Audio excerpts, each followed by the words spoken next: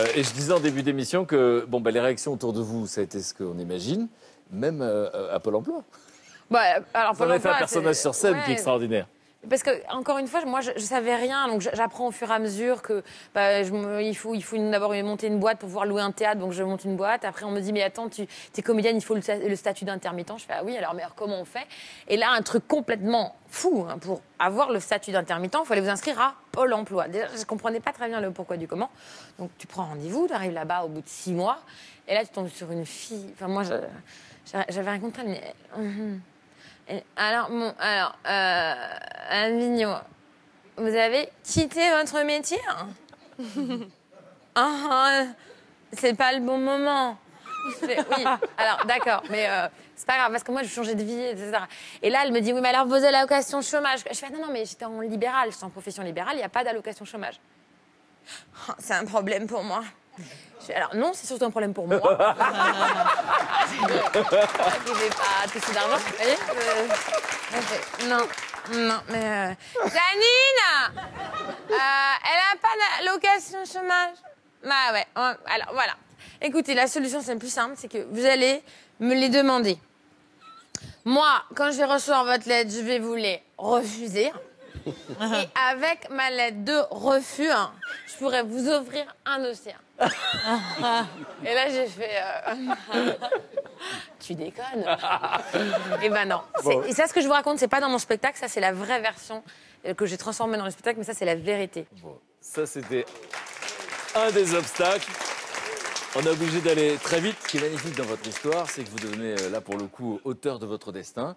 Vous allez écrire pour vous, Je connais personne. vous allez louer une salle et vous Le allez inventer une attachée de presse. Ah, oui, c'est vrai. Expliquez donc ce que c'est une attachée de presse, hein, Non, normalement, le horrible boulot. parce que quand vous avez rien et que. Et que...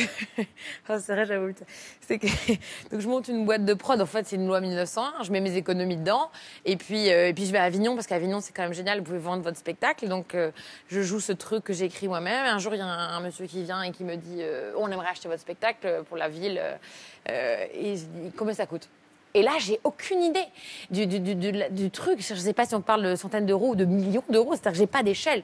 Donc je le regarde. Je fais, vous savez bien, enfin, faut voir ça déjà avec ma prod, euh, parce que c'est eux qui décident et tout. Donc il appelle ma prod. Bah, bien sûr, c'est moi. hein. Euh, donc là, je prends un accent. Je oui, bonjour. Caroline on est très fiers de cet artiste. Elle cartonne. N'importe quoi. Et deux jours après, le mec rappelle et je prends un autre accent parce que j'ai oublié quel accent j'avais pris. Donc tu vois, et là il fait mais c'est pas vous que j'ai eu hier. Je fais ah mais on est nombreux dans cette boîte. c'est vrai. C'était comme je de schizophrène.